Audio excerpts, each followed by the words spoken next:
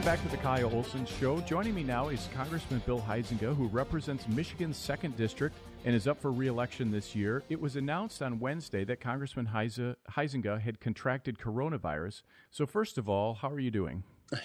I'm uh, I'm doing fine, Kyle. Thank you for asking. And uh, yeah, yeah, it certainly was a strange day. I woke up on Wednesday morning and I thought to myself, maybe I need a Claritin. Uh, and for anybody who lives in uh, West Michigan this time of year, you know exactly why. It's just uh, it was just might uh, felt at most uh, a mild seasonal allergies. And uh, but thank heavens, frankly, for the protocol for my my getting together with the vice president. I had to do the rapid test, and uh, when that came back uh, positive, I was extremely surprised. I have had a uh, the PCR test, that more in-depth test that has confirmed I have coronavirus. But um, you know, I'm I'm feeling like uh, you know a touch of a head cold at best or at worst, I guess.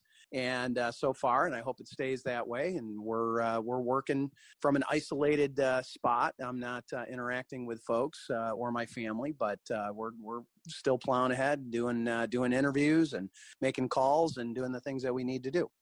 So, speaking of coronavirus, um, President Trump and the Republicans have been pushing for additional coronavirus relief. Um, House Speaker Nancy Pelosi has been opposed and, in fact, um, got very snotty, in my opinion, in an interview with CNN host Wolf Blitzer this week um, when he had just a mild amount of pushback. So, where does that relief stand now? Uh, that that was hilarious when she's accusing Wolf Blitzer of carrying the Republicans' water. It's like, seriously, have you actually seen Wolf Blitzer on here? Uh, you know, uh, but it just shows the extent of which she knows that she's feeling hemmed in. She has people like even like Ro Khanna, who's who is one of the most progressive of the progressives, saying we need to get something done here. Um, she's got her people in her own party that are calling for action as they should be and joining the Republicans in a discharge petition, trying to get some action. And she's literally telling them, hold your water, we'll be okay. We'll survive this election. We'll get a bigger deal, and we can hang this on the Republicans that we haven't had another package. Well, shame on the media, and frankly, shame on the American people if we're going to let them get away with that. So, so what she's doing is just 100% political. Oh, totally. I, I mean, she has made the political calculation that it is better for them uh, for this election to not have a deal so that they can uh, they can uh, try to attack the president on this versus getting something done and giving him a quote unquote win. Uh, well, the, you know, Kyle, sadly, the people that are losing are the American taxpayer and mm-hmm. uh, and the citizens. And uh, but that uh, that's never exactly been her her main focus anyway. Now, one of my concerns as a fiscal conservative is that as we have been in this coronavirus you know situation there has been stimulus after stimulus and bill after bill. Um, and it just seems to me like we're no longer talking about millions. And and uh, in fact we're hardly even talking about billions anymore. Now we're in trillions. Um, so at what point are republicans going to get concerned about the spending? Well, a lot of us are, and uh, that has been uh, some tougher votes. Uh, you know, as we've as we've been going through this, we uh, we all had to kind of look at each other and say, okay, even the CARES Act, uh, which was uh, 2.2 trillion, uh, which is a huge amount of money. Let's make sure that we are using this wisely, and uh, because it, that's a that's a huge swath on the you know Uncle Sam's credit card. But that's also why you've seen us all, virtually all of us, oppose uh, the proposals that the speaker has had, you know, 3.4 trillion, 3 trillion. She's now dropped it to about 2.2, 2.2 or 2.4 trillion dollars.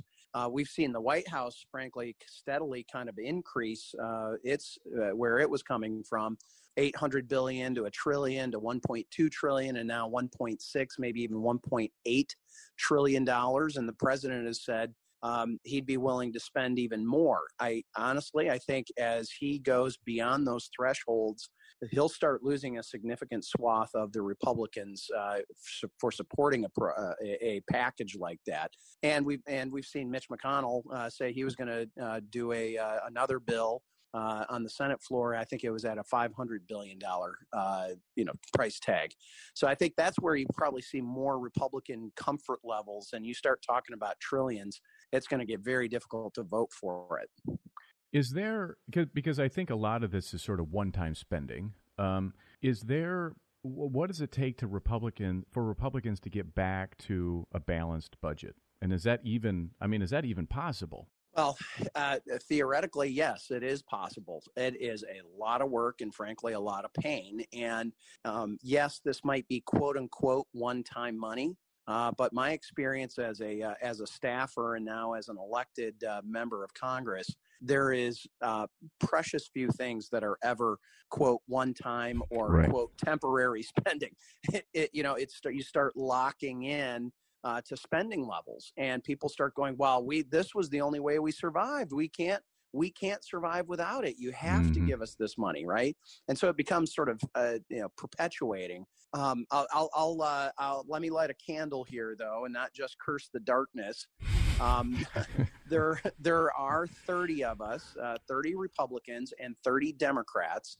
We haven't come up with anything more inventive than 30 by 30 but we've kind of been doing this Noah Ark approach, right? You know, where it's uh, we're we're not adding people, not doing anything unless it's one Republican, one Democrat. But this 30 by 30 group has uh, sent joint letters to both uh, Kevin McCarthy and Speaker Pelosi, uh, outlining our concerns on some of these spending levels having some tangible suggestions of what to do uh, and and you got to start small you know i was one of the the uh, founding members of the Balanced Budget Amendment Caucus. I would love to have that be a part of that letter.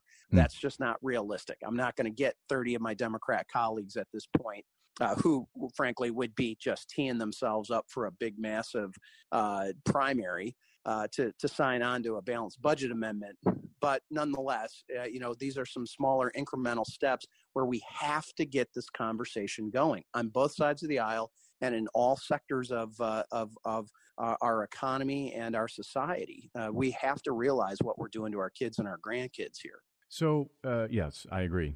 And I think my kids agree as well. Uh, the National Republican Campaign Committee told me a couple weeks ago that they are focused on about 50 districts and they need to flip 17 to win the majority. How are things looking on that front? Yeah, I mean, we've got uh, we've got a very very solid uh, class of candidates. Uh, and this is this is actually how the Democrats did it two years ago. Uh, they went in and targeted, for example, veterans. Uh, so they had a number of candidates that had had uh, experience in the military, um, community uh, members that had very deep roots in those communities, um, and they they really sort of um, you know kind of out recruited us. Uh, the the the shoes on the other foot this time. We have got some excellent, excellent people, and who who came close last time. And when you see dynamics like a Mike Garcia out in, in California, where we haven't had that seat in 22 years, right? Uh, we're seeing some things moving in these different states that uh, may not have uh, may not have seen that kind of activity or action in the past looking at winning back some seats in New York, uh, Claudia Tenney in, uh, in, in, in New York, and uh, looking at that uh, Staten Island seat, uh, you know, getting that back into the Republican column. We've we've got some real good opportunities, and at a minimum, I think we do a significant significant narrowing of our of our, of the Democrats' majority, and we've got a real shot at taking a slim majority in the House as well. So, what, Congressman Bill Huizenga, thanks for joining me today. Hey, thanks, Kyle. Good to be with you. This is the Kyle Olson Show. We'll be right back.